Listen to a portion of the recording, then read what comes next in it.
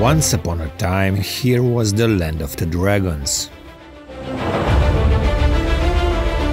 When the legendary hero Jason and the Argonauts stole the Golden Fleece from King Aeetes in a bid to escape the king's army, they flew across the Black Sea and Danube River and entered the Ljubljanica River. The winter had set in, so they were forced to settle on the banks of the river. Little did the army know that they had invaded a dragon's lair. One night the dragon burned down the camp, killing half of the army. Seeking revenge, Jason and Medea found a sleeping dragon in its den and tied the dragon's mouth with a heavy chain. When the beast woke up, it was unable to breathe fire, the flames collected in his belly and the creature burst into a huge ball of fire. It was, they say, the first time this land saw fireworks. Another legend tells a dragon was threatening to destroy the nearby village if it didn't get six virgins every year. One year, it was the turn of the beautiful Marjetica to be sacrificed. St. George, the girl's lover, rushed to the mountain on a white horse and killed the beast with his sword. May it be the legend of Saint George or may it be the legend of the Argonauts. Uh, this is the dragon which uh, was killed by Jason or by Saint George. And there is another nice legend uh, which says that every time a virgin crosses this bridge, the dragons are moving their tails. Yeah, I don't know what to say about that. The bridge constructed in 1901 is regarded as the most beautiful bridge produced by the Vienna Secession.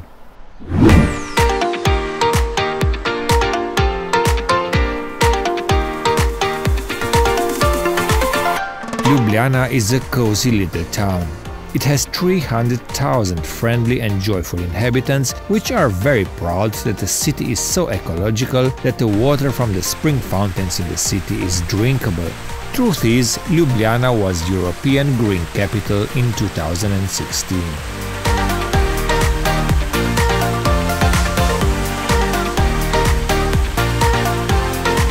E demnă de a fi o capitală. Cum se numește? Ljubljana. Încă o dată. Cum se pronunță? Nu știu cum se pronunță, că de fiecare dată râs de mine așa. Hai, Ai? mai, mai încearcă o dată. Nu. Ljubljana. Ljubljana. Bravo, dragă. Ljubljana. Bravo. Ne czekaj, pomladi, ne czekaj na raj.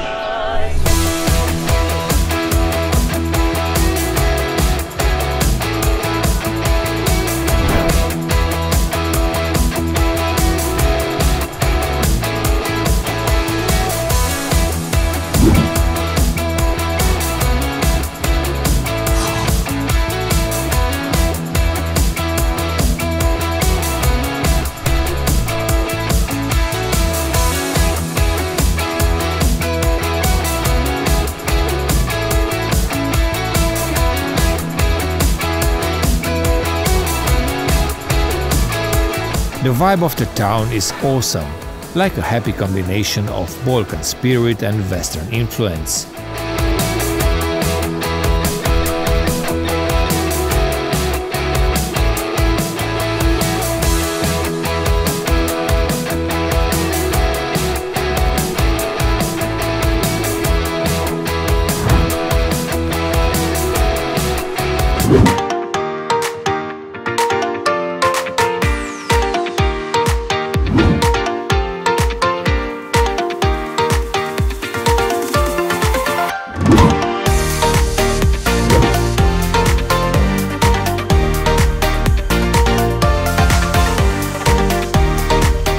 Of the castle, you can see maybe as far as the borders of the country.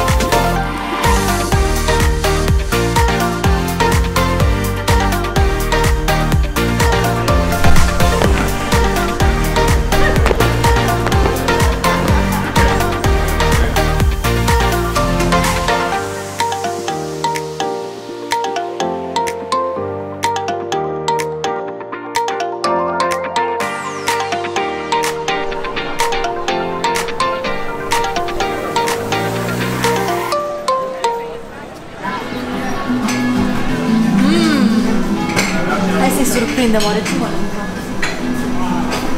De chestii. Pornești tu vloggerul ăla de la sare, zahăr și piper, îmi dai un autograf, îmi dai un autograf, îmi dai un autograf. Honey, I think you're in the wrong country. Apfelstrudel is a traditional dish from a country just with farther north. It's not just with apple, it's also with cheese. It's something new. Oh, it's apple cheese strudel. You may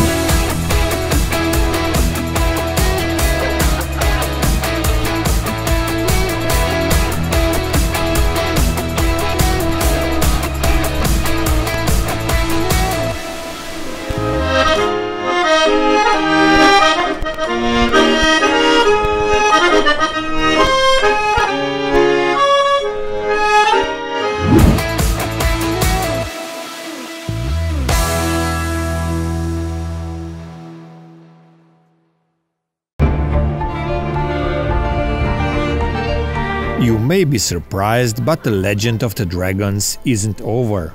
The baby dragons exist even today, and the cave where the dragon's den was can be visited, and there's exactly where we are heading. Peștera Postojna a fost vizitată încă din timpurile străvechi și cea mai veche inscripție de pe pereții peșterii datează din anul 1210. Haideți să intrăm înăuntru. Austria's Emperor Francis I visited the cave in 1819, making it to a world-known touristic attraction. In the second part of the 19th century, when the cave was first opened uh, for the public, the wagons were pushed by the guide. Amazing.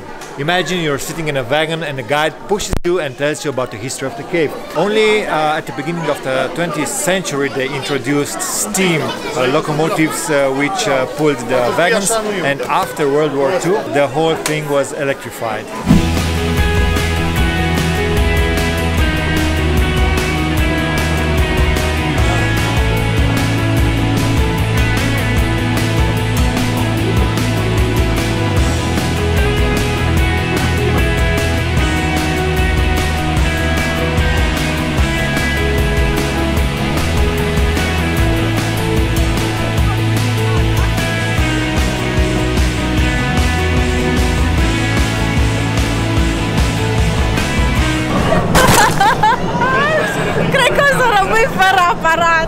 Eu nu știu, mă, peștera asta nu e pentru vlogger. E clar că la un moment dat o să o pocnesc de o stalactit. Capul jos, capul jos, capul jos. Ei, ei, uu, uu,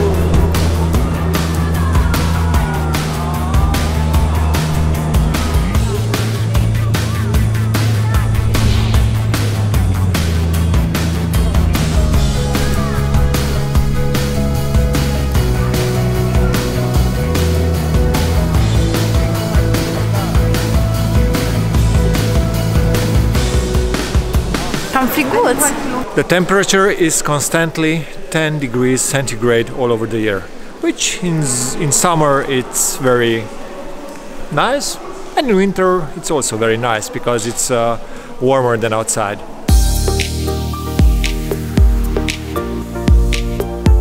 The cave's first guide was Luca Cech, who also discovered a lot of new galleries that can be visited today.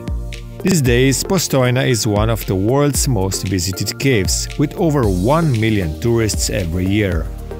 Electric lighting was added in 1884, preceding even Ljubljana. During Second World War, the Nazis used the cave to store nearly 1000 barrels of aircraft fuel, which were destroyed in 1944 by Slovene partisans. The fire burned for seven days, destroying a large section of the cave and blackening the entrance. Even today, the ceiling is black.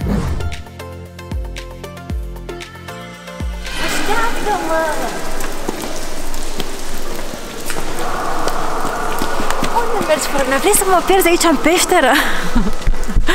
Asta înseamnă da?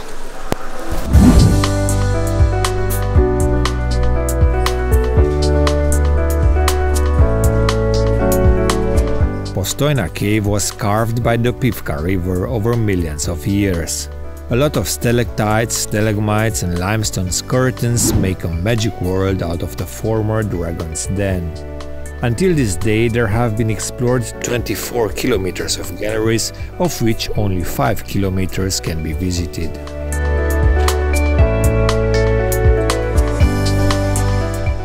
Știu de ce, orică n-am mai ieșit de mult într-o excursie, orică e foarte frumoasă peștera, dar îmi dă o energie atât de pozitivă încât nu mai știu ce să fac, sunt foarte fericită.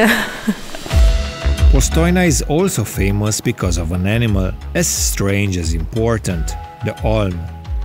Hundreds of years ago, after heavy rains, baby dragon like creatures washed up the ground.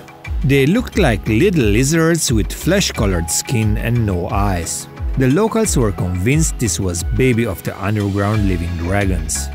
The olm was described for the first time in 1689 by Johann von Valvasor, and it is a very important species.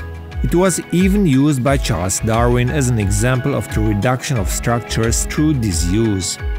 Olms are amphibians, can live for over 100 years, and can survive more than 10 years without any food.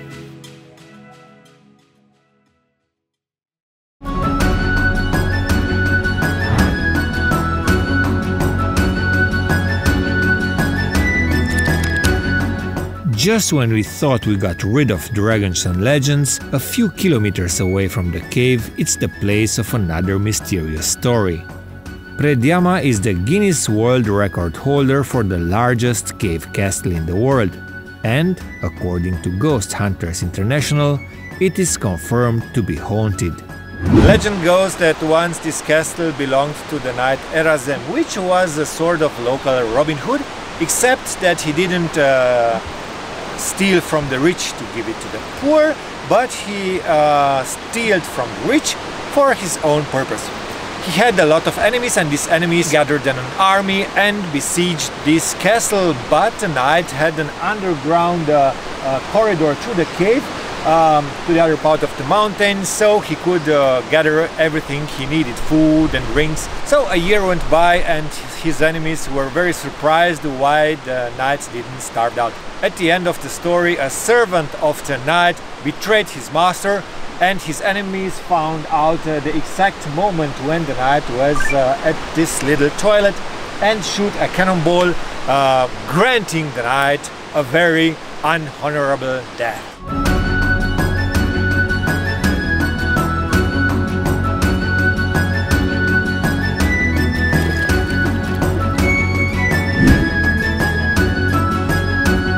It was built in the 13th century, and the legendary Erazem was only one of the many owners of the castle. Today you can visit the castle, and between May and September, visitors are also allowed inside the cave under the castle.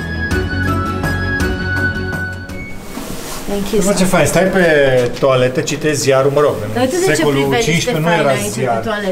Deci ac- acolo nu, nu avea Instagram, știi? Și se uita, vezi tot. se uita pe geam, știi? Înțelegi? Deci era Insta Story instant. In the Middle Ages, if you have been a burglar or if they simply just had something with you, you could be hanged here and left for days, or worse, you could have been judged and thrown away on this door outside some hundreds feet down.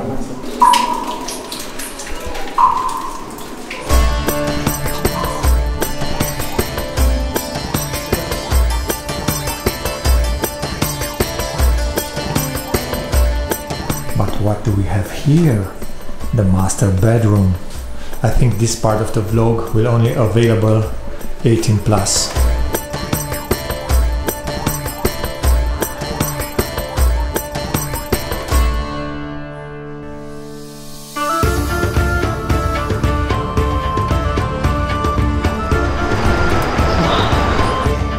One cannonball of this size hit this little lavatory where the unfortunate knight was just washing himself.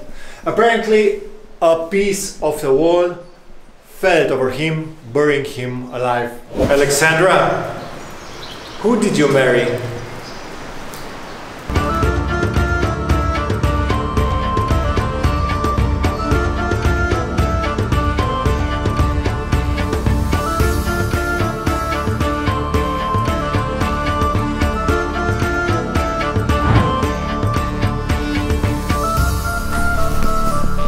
Fii atent ce-mi plac pantofii, ce, ce sandale evul mediu.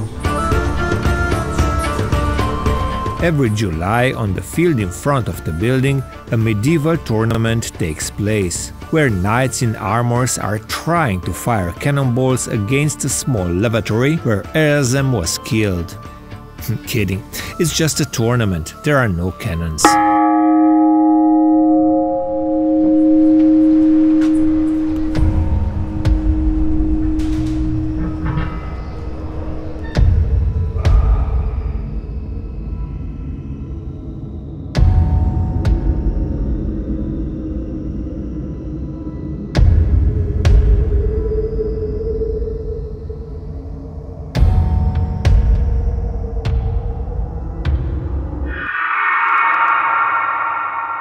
In this castle and on these cliffs, filmed uh, in 1986, the famous movie star Jackie Chan, his film The Armor of God. And remarkably, to say, he did his own stunts.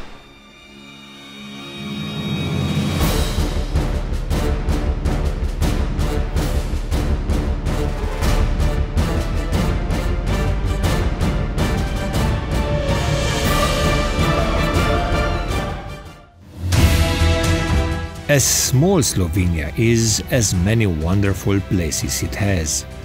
In the next episode, we will check out the most visited place of the country, Lake Bled, where we will try to find out the truth behind the legends.